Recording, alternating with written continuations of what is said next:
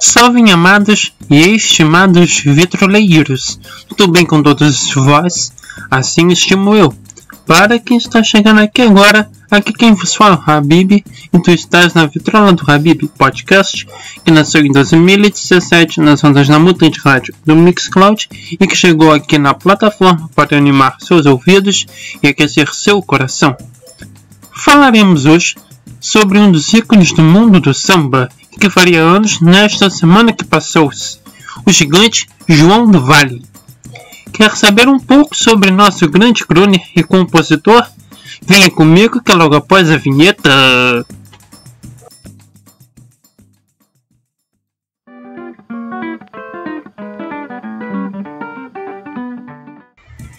João Batista do Vale, mais conhecido como João do Vale, nascido em Pedreiras em 11 de outubro de 1934 e falecido em São Luís em 6 de dezembro de 1996, foi um músico, cantor e compositor brasileiro. De origem humilde, João sempre gostou muito de música. Em 1947, se mudou para São Luís. Em 1964, estreou como cantor. Suas principais composições são Carcará, de parceria com José Cândido e imortalizada na interpretação de Maria Bethânia, Peba na Pimenta, com Adelino Rivera e Pisa na Flor, com Ernesto Pires e Silveira Júnior. Com este pequeno resumo, bora lá adentrar mais profundamente sua vida e obra. João Batista do Vale gostava muito de música desde pequeno, mas logo teve de trabalhar para ajudar a família. Aos 13 anos, foi para São Luís do Maranhão, onde vendia laranjas de rua e participou de um grupo de Bumba Meu Boi, o Linda Norte. Como Amo. Na cultura popular maranhense, Amo é a pessoa que organiza o grupo do Bumba Meu Boi, o cantador, na maioria das vezes, o dono daquele grupo. Dois anos depois, começou sua viagem para o sul, pegando um trem para Teresina e depois sempre em boleias de caminhões. Em Fortaleza, Ceará, foi ajudante de caminhão em Teófilo Minas Gerais, trabalhou no garimpo. E no Rio de Janeiro, aqui no Rio mesmo, onde chegou em dezembro de 1950, empregou-se como ajudante de pedreiro numa obra do bairro de Ipanema.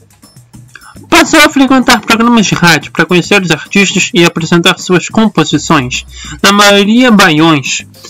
Depois de dois meses de tentativas, teve uma música de sua autoria gravada por Zé Gonzaga, Cesário Pinto, que fez sucesso no Norte. Em 1953, Marlene lançou em disco Estrela Miúda, que também teve êxito. Outros cantores como Luiz Vieira e Dolores Duran gravaram então músicas de sua autoria.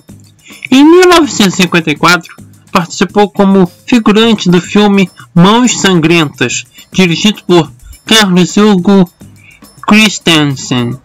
João do Vale conheceu Roberto Farias, na época assistente de direção, que, ao se transformar em diretor, convidou o compositor para musicar alguns de seus filmes, como No Mundo da Lua, de 1958.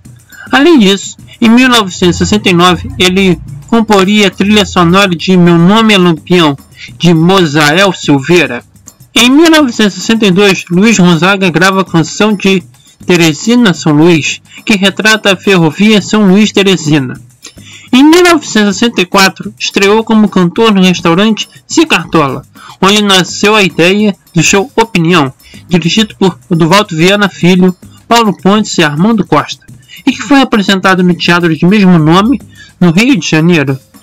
Dele participou ao lado de Zequete Nara Leão, tornando-se conhecido principalmente pelo sucesso de sua música Carcará, com a participação de José Cândido, a mais marcante do espetáculo, que lançou Maria Bethânia como cantora que substituiu Nara no espetáculo. Depois de se afastar do meio musical por quase 10 anos, lançou em 1973 Se Eu Tivesse o Meu Mundo, com Paulinho Guimarães, e em 1975 participou da remontagem do show Opinião no Rio de Janeiro.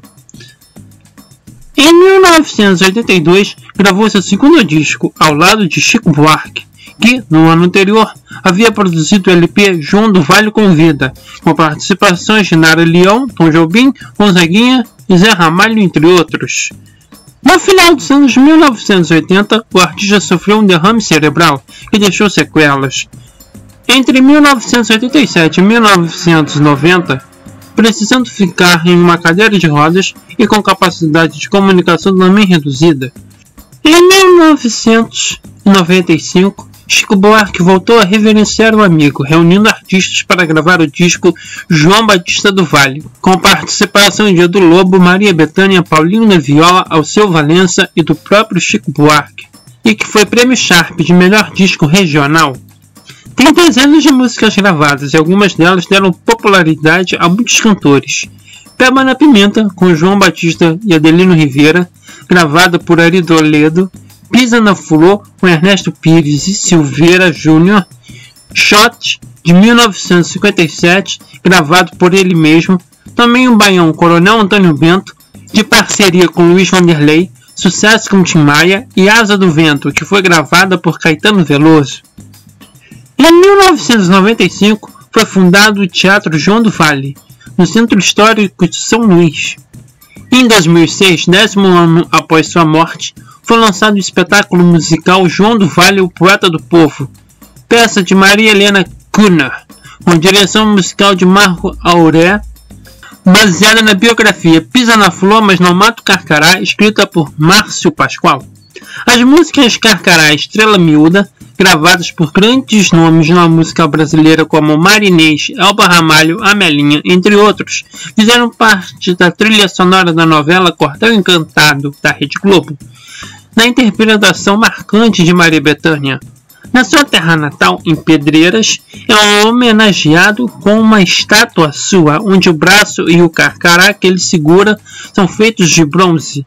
Em 2017, foi montado também em São Luís o espetáculo João do Vale musical, que também fez apresentações no interior do estado e no Piauí. Em 2018, foi escrito pela poeta e cantora pedreirense Maria Sulema F. Oliveira uma homenagem ao aniversário do poeta, um soneto intitulado De Carcará na Flor, que é um belo poema.